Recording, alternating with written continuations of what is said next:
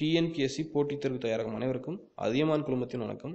நம்ம இன்னைக்கு இந்த வீடியோவில் பார்க்க போகிறது குயிக் கொஷின் ஆன்சர் விரைவு வினாவிடை அப்படின்ற டாப்பிக்கில் பொது தமிழில் இருக்கக்கூடிய பத்து கொஷின் பார்க்க போகிறோம் இது வீடியோ நம்பர் இருபது ஏற்கனவே பத்தொன்பது வீடியோ பார்த்துருக்கோம். ப்ரீவியஸ் வீடியோ நீங்கள் பார்க்கணும்னா குயிக் கொஷின் அண்ட் ஆன்சர் விரைவு வினாவிடை அப்படின்ற பிளேலிஸ்ட் நம்ம சேனலில் இருக்குது அங்கே போயிட்டு நீங்கள் ப்ரீவியஸ் வீடியோ பார்த்துக்கலாம். இப்போ இந்த வீடியோவில் இருக்கக்கூடிய கொஷின் அண்ட் ஆன்சர் பார்ப்போம்.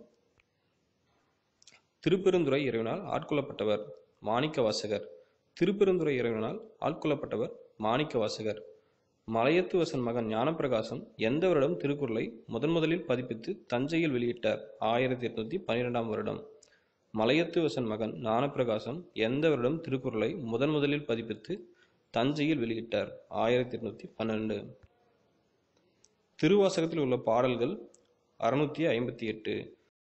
திருவுள்ள பாடல்களின் எண்ணிக்கை ஆறுநூற்றி ஐம்பத்தி எட்டு.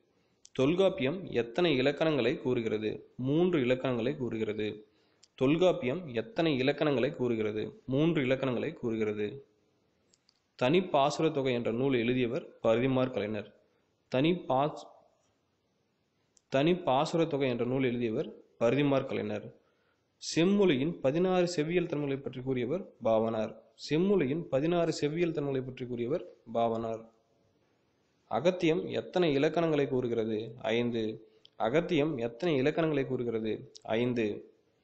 தமிழை செம்மொழி என்று என அறிவித்தல் வேண்டும் என்ற முயற்சி எந்த வருடம் முதல் தொடங்கியது? ஆயிரத்தி தொள்ளாயிரத்தி ஒன்று. தமிழை செம்மொழி என அறிவித்தல் வேண்டும் என்ற முயற்சி எந்த வருடம் முதல் தொடங்கியது? ஆயிரத்தி தொள்ளாயிரத்தி ஒன்று.